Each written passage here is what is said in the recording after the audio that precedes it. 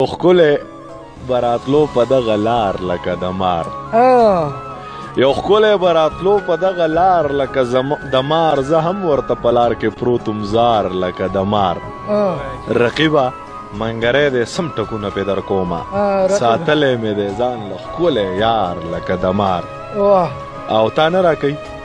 جرګه ورپسې نه درلېږم ګرانې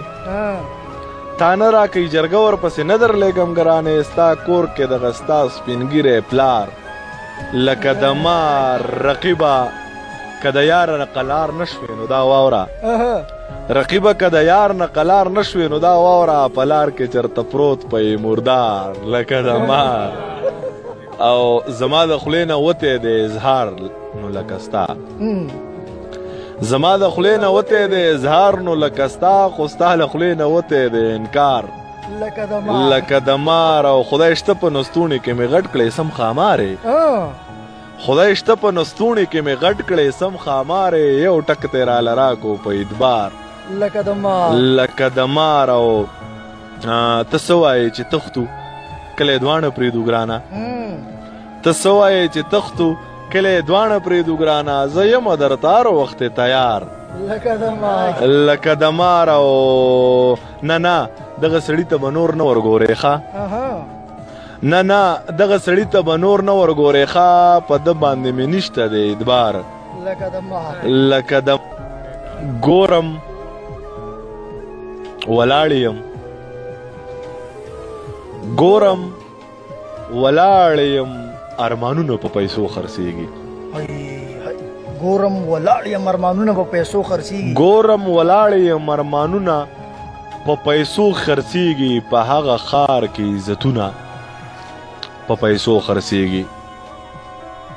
او په خپل وجود مې ویښته نیغ شوله سمو بوګنیدم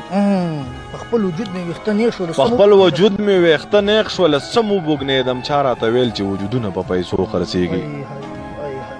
او ښکلیا ته له دې د پاسه ماته څنګه خاندې ښکلیا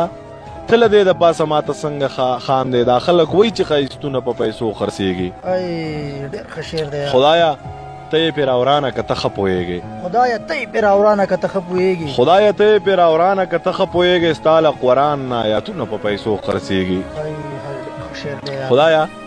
ته یې پرې راورانه که ته ښه پوهېږې ستا له قرآن نه آیاتونه په پیسو خرڅېږي بلها رشتې ورانې شوې ښه بلها کورونه وران شول بلها رشتې ورانې شوې ښه بلها کورونه وران شول دلته کې ګډوډ تعویذونه په پیسو خرڅېږي. بلها کورونه وران شول خه بلها رشته وران شوې دلته کې ګډ ور تعویزونه په پیسو خرڅيږي او شعر دی پکې چې زمیره دقل ته د خپل ضمیر نه ویریږم ضمیر دقل ته د خپل ضمیر ویریږم ضمیر دقل ته د خپل ضمیر ویریږم دا خلک وای چې ضمیرونه په پیسو خرڅيږي